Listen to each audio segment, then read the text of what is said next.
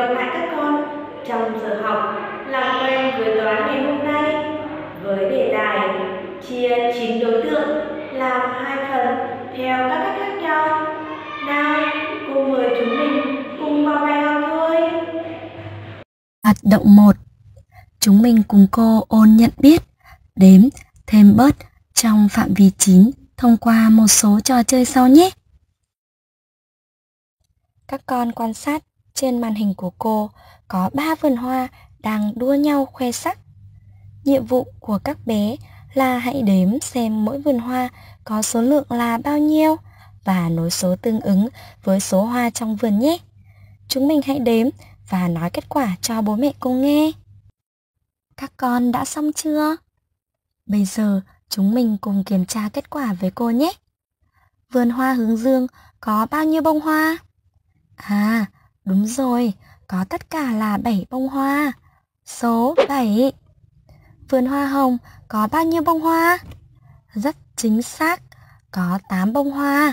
Số 8. Cuối cùng, vườn hoa cúc nở bao nhiêu bông hoa? Đúng rồi, tất cả có 9 bông hoa đã nở rồi đấy. Số 9. Cô xin chúc mừng các bé đã có đáp án đúng.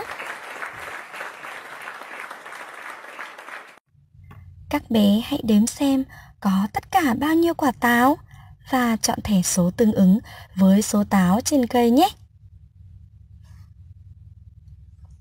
Chúng mình đã đếm xong chưa? Chúng mình hãy cùng kiểm tra kết quả với cô nhé. Các con cùng đếm với cô. 1 2 3 4 5 6 7 8 9 Tất cả có 9 quả táo. Vậy, tương ứng với 9 quả táo là số 9. Các quả táo trên cây đã chín thơm ngon rồi và cô đang thu hoạch về nhà đấy. Chúng mình cùng đếm xem trong giỏ cô đã hái được bao nhiêu quả táo nhé. Chúng mình cùng đếm nào. 1 2 3 4 5 6 7 Tất cả có 7 quả táo. Bây giờ cô muốn hái cho đủ 9 quả táo vào giỏ. Theo các con, cô sẽ phải hái thêm một quả táo, hai quả táo hay ba quả táo. Chúng mình cùng suy nghĩ và trả lời cho cô nhé. Các con đã suy nghĩ ra chưa? Đúng rồi, cô phải hái thêm hai quả táo vào giỏ đấy. Thì mới đủ 9 quả táo đúng không nào? 7 thêm 2 là 9. Các con cùng đếm lại số táo trong giỏ với cô nhé. 1, 2, 3, 4, 5, 6, 7, 8, 9. Tất cả có 9 quả táo. Như vậy, cô đã hái đủ 9 quả táo rồi. Để biểu thị cho nhóm có số lượng là 9, ta chọn thẻ số 9. Cô cảm ơn tất cả các con.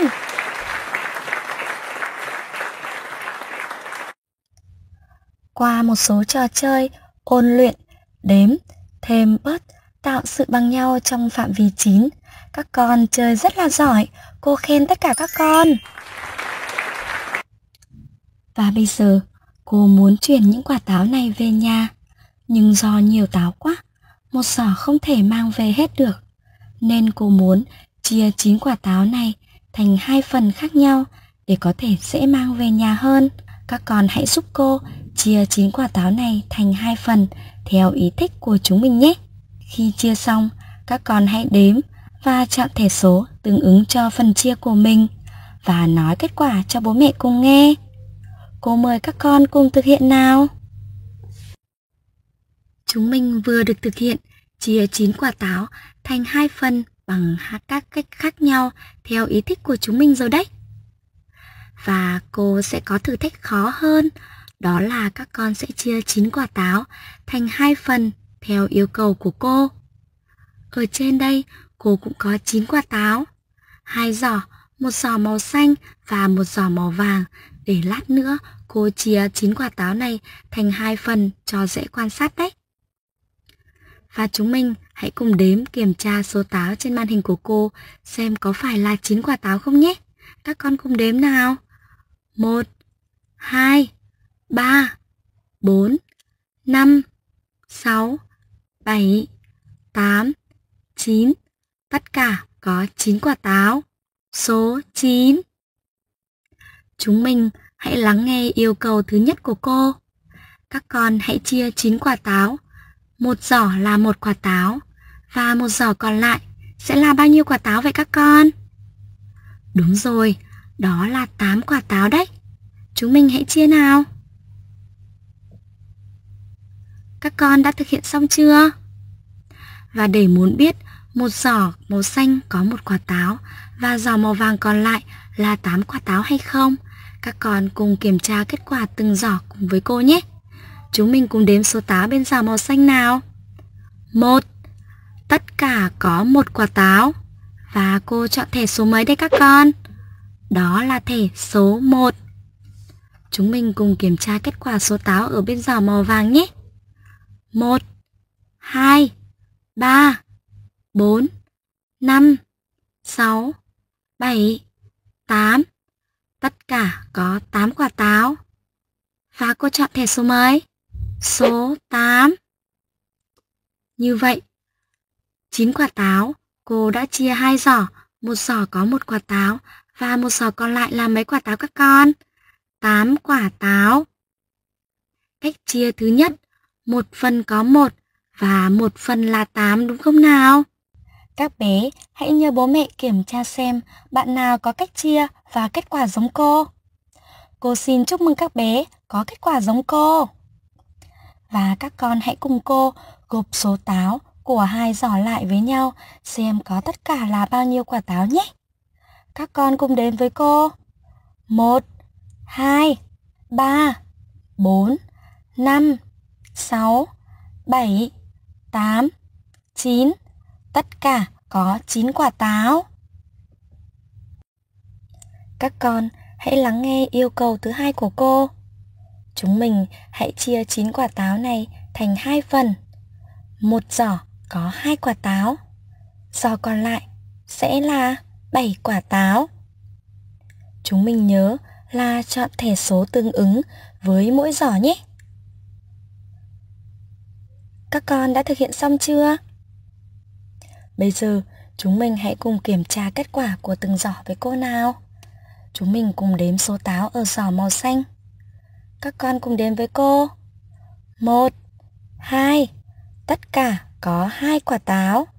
Số 2. Và chúng mình cùng kiểm tra kết quả số táo ở giỏ màu vàng. 1, 2, 3, 4, 5, 6, 7. Tất cả có 7 quả táo. Cô chọn thẻ số 7. Vậy, cách chia thứ hai của cô là một phần là 2, một phần là 7. Chúng mình hãy nhờ bố mẹ kiểm tra xem có bạn nào có cách chia và kết quả giống cô. Cô xin chúc mừng các bé đã có đáp án đúng. Các con cùng gộp số táo của hai giỏ xem có đủ là 9 quả táo không nhé. Chúng mình cùng đếm với cô. 1, 2, 3, 4, 5, 6, 7, 8, 9. Tất cả có 9 quả táo.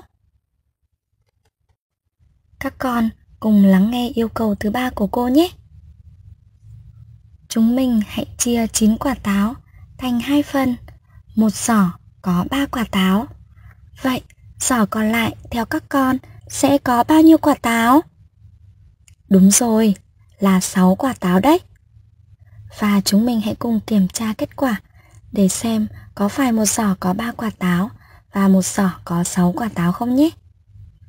Trước khi kiểm tra, các con hãy lấy thẻ số tương ứng đặt với số quả của từng giỏ nhé. Các con hãy cùng đếm số táo ở giỏ màu xanh với cô. 1, 2, 3. Tất cả có 3 quả táo. Số 3. Chúng mình cùng kiểm tra số táo bên giỏ màu vàng. 1, 2, 3, 4, 5, 6. Tất cả có 6 quả táo. Số 6.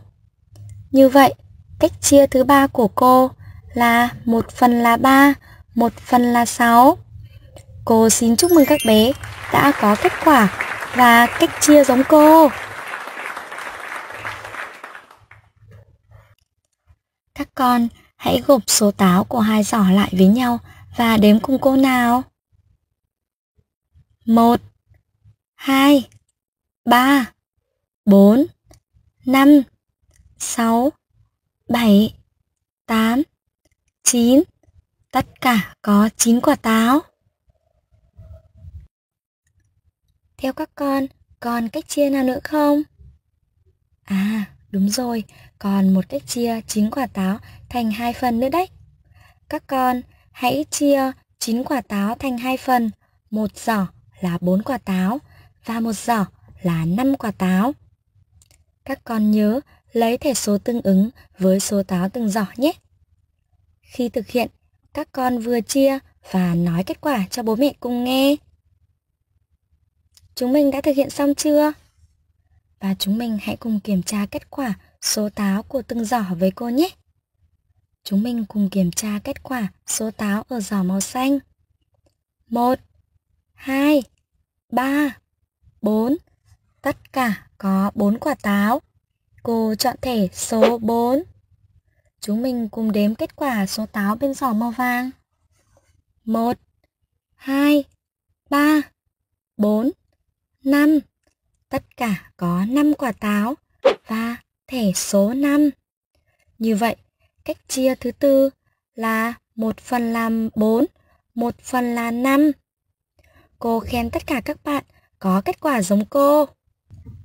Các con hãy gộp hai giỏ táo này lại và đếm xem có tất cả bao nhiêu quả táo. Chúng mình cùng đếm với cô. 1 2 3 4 5 6 7 8 9 Tất cả có 9 quả táo. Có rất nhiều cách để chia nhóm có 9 đối tượng thành hai phần khác nhau. Cách thứ nhất, một phần là một, 1 phần là 8. Cách thứ hai, 1 phần là 2, 1 phần là 7. Cách thứ ba, 1 phần là 3, 1 phần là 6. Cách thứ tư, 1 phần là 4, 1 phần là 5. Các cách chia cho ta kết quả khác nhau, nhưng tất cả các cách chia đều là cách chia đúng. Các con hãy nhắc lại cách chia cùng cô. Cách thứ nhất, một phần là một, một phần là tám. Cách thứ hai, một phần là hai, một phần là bảy. Cách thứ ba, một phần là ba, một phần là sáu. Cách thứ tư, một phần là bốn, một phần là năm. Để củng cố kiến thức cho các con được vững hơn, cô con mình cùng đến với hoạt động 3, ôn luyện qua các trò chơi nhé. Các con đã sẵn sàng chưa nào?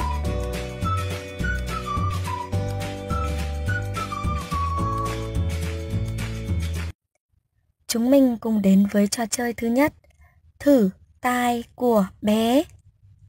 Cách chơi như sau. Bé hãy chia nhóm có số lượng là 9 thành hai phần khác nhau theo ý thích và điền số tương ứng với từng cách chia nhé. Chúng mình hãy nói cách chia cho bố mẹ cùng nghe. Chúc các bé thành công! Các bé đã thực hiện xong chưa? Chúng mình cùng kiểm tra kết quả của cô nhé. 9 bông hoa, cô sẽ chia một phần là một và cô chọn thẻ số 1. Phần còn lại là bao nhiêu? Đương nhiên là 8 và là thẻ số 8. 9 quả đu đủ thì sao nhỉ? À, cô chia một phần là 2, số 2 và phần còn lại là 7, số 7. 9 quả dâu tây, cô sẽ chia 1 phần là 3, số 3. Phần còn lại là 6, số 6. Còn 9 quả cam, cô chia 1 phần là 4, số 4 và 1 phần là 5, số 5 đấy. Cô xin chúc mừng các bé đã có đáp án giống cô. Chào mừng các bé đến với trò chơi Ai nhanh nhất. Cách chơi như sau. Bé hãy đếm số quả của mỗi nhóm và nối hai đối tượng để có số lượng là 9. Cô sẽ cho các con thời gian làm 10 giây để suy nghĩ. 10 giây bắt đầu.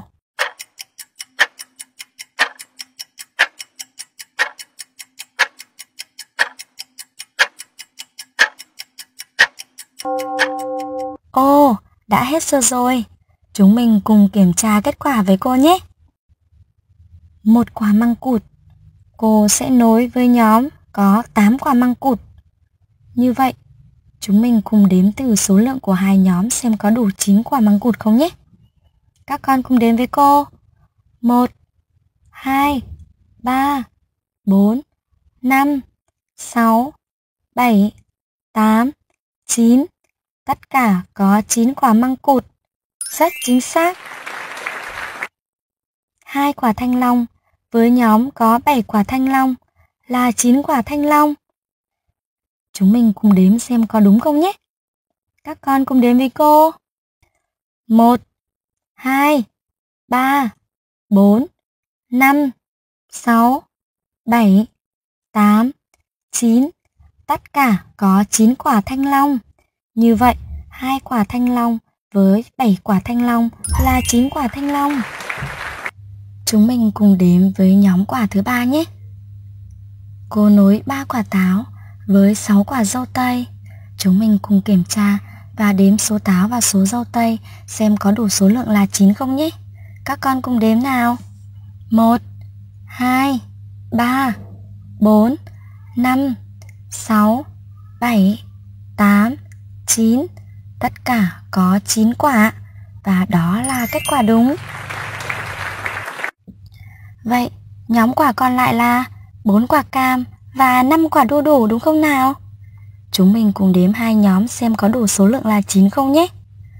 1 2 3 4 5 6 7 8 9 Tất cả là 9 quả các bé chơi rất là giỏi, cô khen tất cả các con.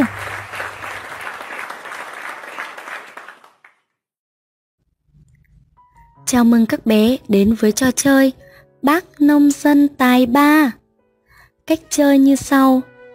Các bé sẽ cùng đóng vai là các bác nông dân đi thu hoạch các trái cây trong vườn và các quả trên mỗi cây đều có số lượng là 9.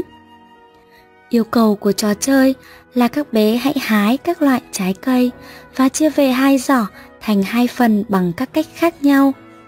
Các bé đã rõ cách chơi chưa nào? Các con hãy suy nghĩ và nói các cách chia của mình cho bố mẹ cùng nghe nhé. Các con đã thực hiện xong chưa? Chúng mình cùng quan sát kết quả của cô nhé. Cây cam cô sẽ hái và chia về một giỏ có một quả và một giỏ là 8 quả. Vậy cách chia này là 1, 8. Chúng mình cùng thu hoạch những quả táo nhé. 9 quả táo, cô thu hoạch về một giỏ có 2 quả. Và giỏ còn lại là bao nhiêu quả vậy các con? Rất chính xác, 7 quả đúng không nào? Vậy cách chia này là 2, 7. Cây xoài, cô hái và chia về một giỏ có ba quả. Và một giỏ là sáu quả phải không các con? Đúng rồi, đây là cách chia 3, 6. Cuối cùng là chúng mình cùng hãy thu hoạch 9 quả dừa nhé.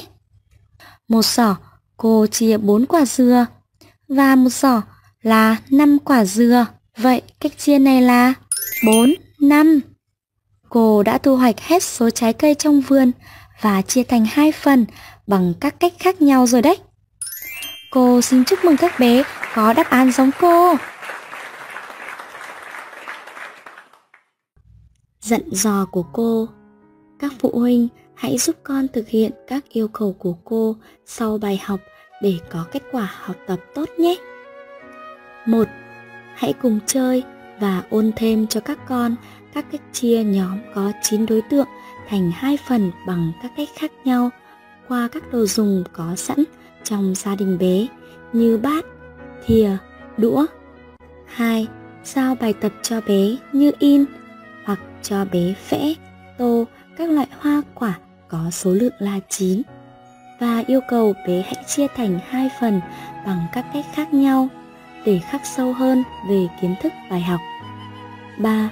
Các phụ huynh hãy chụp ảnh hoặc quay video khi các con học bài và gửi lên nhóm lớp để giáo viên nắm được tình hình học tập của con và có thể điều chỉnh cho phù hợp trong giờ học sau. Xin cảm ơn các bậc phụ huynh. Bài học của chúng mình đến đây là kết thúc rồi. Các con hãy cùng bố mẹ ôn luyện cách chia nhóm 9 đối tượng thành hai phần bằng các cách khác nhau nhé. Cô xin chào và hẹn gặp lại các con.